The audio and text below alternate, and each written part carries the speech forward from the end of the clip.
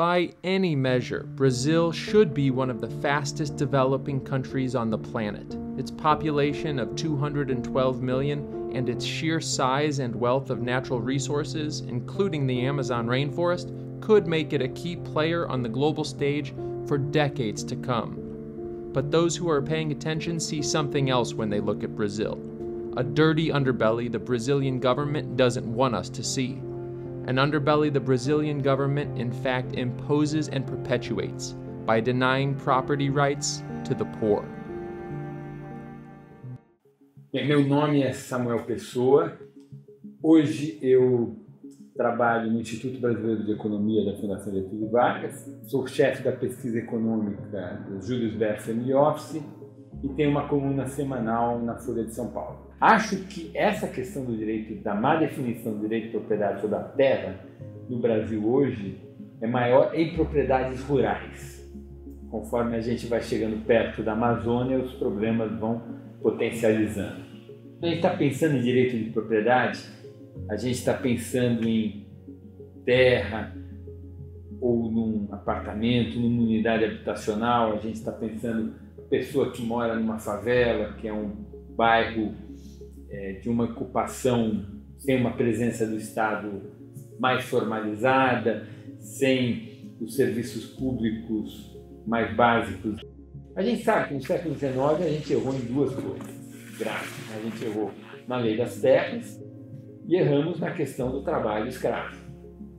É, na lei das terras, um país como o Brasil gigante, com um monte de terra pública, a gente não criou um mecanismo de distribuição de terra para a gente pobre estimular uma produção agrícola e um campesinato mais eficaz, mais eficiente.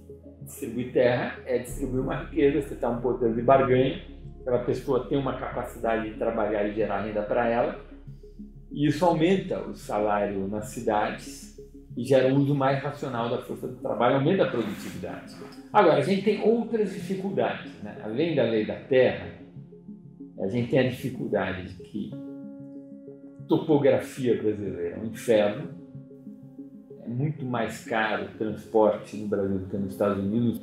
É esse custo de transporte alto dificultou a construção de mercados e também dificulta a, a distribuição de terra. Porque num lugar que o custo de transporte é muito alto, a terra longe não tem muito valor. The land law went into effect in Brazil in 1850. Any land not registered or already in use became property of the state, and it could only be transferred to new owners if they bought the land directly from the government with money up front. The effect the law has made it nearly impossible for the poor to acquire property and, consequently, to accumulate capital. This deeply rooted inequality still affects many economic aspects of Brazil. A population that was not given access to property could not work their own land, thus decreasing the country's potential for productivity. In the 20th century, most of Brazil's natural resources and wealth were owned and controlled by the state. The limitations of government owned companies prevented the economy from fully developing. Porque enquanto a empresa é estatal, a regulação funciona muito pouco. Quando a empresa é estatal, as agências reguladoras não vão lá e fazem uma intervenção, é, você não consegue demitir o diretor daquela empresa, você tem uma série de questões políticas que você não consegue. Fora a corrupção no, na compra, nos recursos, mas estou falando direto, operacional. Quando a empresa vira uma empresa privada, há uma cobrança imediata para que o setor privado cumpra com o que está escrito nos contratos. Tá? Então, essa diferença é brutal. Meu nome é Helena Landau, eu sou economista, com mestrado em economia na PUC e advogada pela mesma universidade. Eu fui professora há muitos anos, trabalhei no governo Fernando Henrique fazendo privatização das empresas estatais. Depois eu me especializei em regulação na área do setor elétrico. É, hoje sou presidente do Conselho Acadêmico do Livres Elena actually worked for these economic reforms and was a key figure in the economic team that handled some of the most important privatization processes in Brazil's history. She clarified some of the problems that arise when enormous wealth is under government control. Nas empresas de, que estão na atividade econômica, que não são empresas de prestação de serviço, é fundamental a privatização porque o governo ele é ineficiente em boa parte da prestação de serviço. Não porque o funcionário público seja mais incompetente, mas tem que obedecer uma série de regras de licitação, de contratação, é, de reorganização de mão de obra que o setor privado tem muito mais liberdade de fazer. Então, quando você privatiza a atividade econômica, você melhora a eficiência na prestação de serviços. Sem produtividade, a gente não cresce. Né? Como é que a gente vai incluir pessoas no mercado de trabalho? Eu tenho todos os argumentos para você sobre privatização, todos os argumentos Como é que isso vai melhorar é, a vida da base da pirâmide social no Brasil? Depois da privatização de energia elétrica e também das telecomunicações, você teve toda uma mudança de regulação olhando para o consumidor e o consumidor mais pobre, porque você pensou em tarifa social, você organizou todo um padrão. O que importa é que você conseguiu com isso incluir uma população que estava totalmente excluída da sociedade através de celulares e de energia elétrica nas suas casas. Você pode imaginar a diferença na vida de uma pessoa se ela pode ter uma energia elétrica para conservar alimentos, por exemplo, se ela consegue se integrar no mundo através de uma televisão, But privatizing a state owned company is no easy task. During the 1990s, Brazil endured one of its worst economic crises, with inflation numbers reaching 499% per year. It took a strong campaign, unified Congress, and government leadership to approve the bills necessary to move some major companies into the private sector. Desestatização, porque o Brasil não pode ficar para trás. Governo do Brasil. A prioridade é o cidadão. Brazil has come a long way since then, but what reforms are still necessary for the working class to have a fair shot? Que, que, são as grandes reformas que a gente tem hoje? A gente tem que fazer a reforma tributária. Primeiro, para simplificação, né? Quer dizer, são dois objetivos equivalentes. Um deles é a, é a simplificação para melhorar a capacidade de fazer negócios no Brasil, que seja facilidade para qualquer pessoa. Imagina uma população de baixa renda ter que tramitar pelos labirintos é, de pagamento tributário, de abrir uma empresa, etc. Segundo, por causa da regressividade do imposto. A gente, uma das causas de desigualdade no Brasil é a regressividade do imposto de renda é, no Brasil. O rico paga muito pouco imposto no Brasil. Bom, o sistema tributário brasileiro de impostos indiretos, a gente tem que pensar assim, tem dois sistemas tributários. Tem impostos indiretos, que é imposto sobre a produção, e tem os impostos de renda. Imposto de renda no Brasil é super simples, super avançado, é muito mais fácil fazer uma declaração de imposto de renda no Brasil do que nos Estados Unidos, por exemplo, é muito mais fácil. Você baixa o site, baixa o programa da internet, é tranquilo fazer. Então, nisso a gente andou bem. Então, qual é o problema da complexidade da estrutura de impostos indiretos? A gente está falando o quê? Nós estamos falando do imposto sobre serviço, que geral um imposto municipal, do imposto sobre circulação de mercadorias, na verdade é um imposto sobre a indústria de transformação, que fica com o governo estadual. O ponto é o seguinte: você tem esses impostos tem muitos regimes especiais.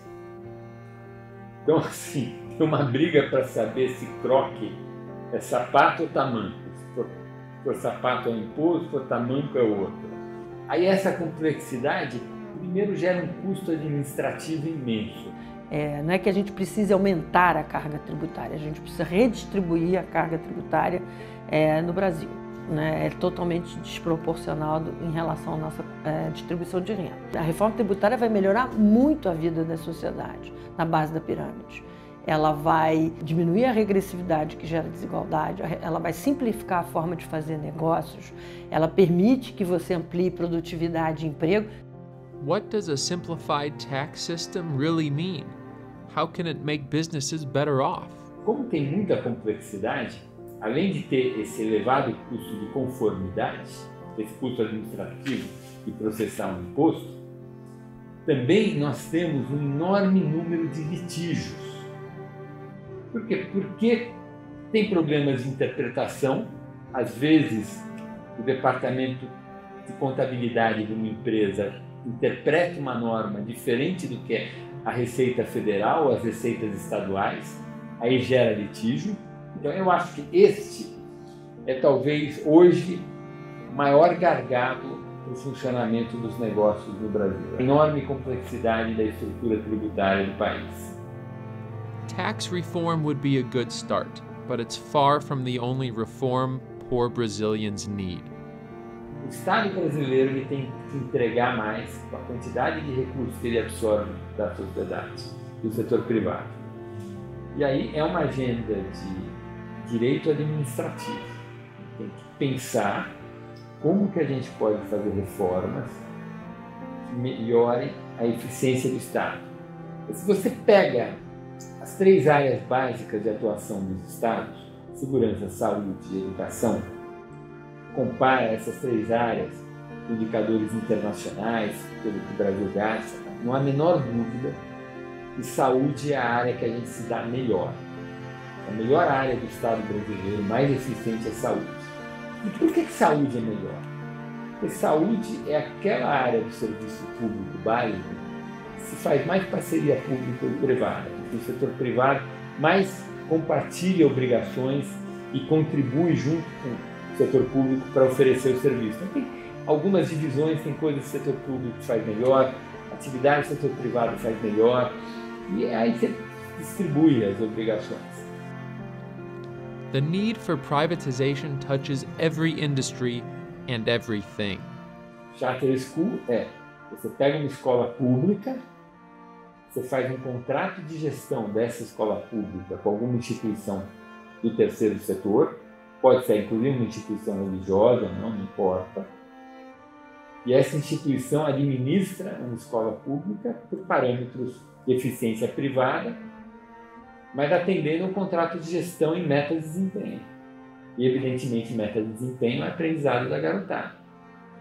Então, acho que Charter School, haver um pouco de a gente caminhar na área educacional para mais parceria público-privada, é um caminho. Olha, eu já trabalho com mudança na gestão do futebol desde que eu saí do BNDES, porque eu comparava o clube de futebol com uma empresa estatal. Quando eu vi o que a privatização mudou em termos de governança, gestão, qualidade, etc., eu falei, é possível fazer isso no futebol. Então a gente quer um Estado que tenha umas condições é, qualidade de vida para toda a população. E aí, quando você tira ele da atividade econômica, ele tem mais recursos e mais tempo para se dedicar àquilo que é de fato a sua, a sua função. Né? Ainda que complementada pelo setor privado, mas ele é o prestador de última instância. Né? And in the short term, what can we expect? How should we be looking to better develop Brazil? Bom, eu acho assim que o Brasil tem que encarar é, suas prioridades no momento de curtíssimo prazo, que é o, é, vamos dizer assim, a herança da pandemia. A herança da pandemia é muito trágica, se a gente olhar os números, aumentou a pobreza, insegurança alimentar, desigualdade, educação e tudo. Mas a pandemia também mostrou que quando a sociedade civil se organiza, né, na ponta, eu tive experiência com, com Favela da Maré, ou Heliópolis, ou qualquer dessas, dessas favelas, se, se você olhar, elas sobreviveram apesar do Estado. O Estado falhou completamente na sua, na sua presença nas comunidades é, de baixa renda, nesses territórios conflagrados. Foram as favelas que botaram bica de água no meio da rua, que surgiram com a ideia da máscara, porque eram oito pessoas morando é, no mesmo cômodo, que ensinou a, hábitos de higiene sozinhos. Então a gente tem que ter no futuro um ataque de curto prazo sobre esse assunto. Mas no longo prazo, a gente tem que parar de olhar só a coisa míope, no longo, preparar o Brasil para um Brasil diferente. E para parar o Brasil para um país diferente, para mim é investir em criança, primeira infância. Começa 0 a 6, depois fundamental, é a criança. Quando eu digo investir na criança, é investir na família, no ambiente, na segurança, na nutrição. Isso, isso tem que ser um foco das políticas públicas. Tá? Brazil is home to some of the world's greatest natural resources. Its population consists of hardworking people who have proven time and again that, given the chance, they can thrive. It's time Brazil's government realizes it must step aside for the country to reach its full potential.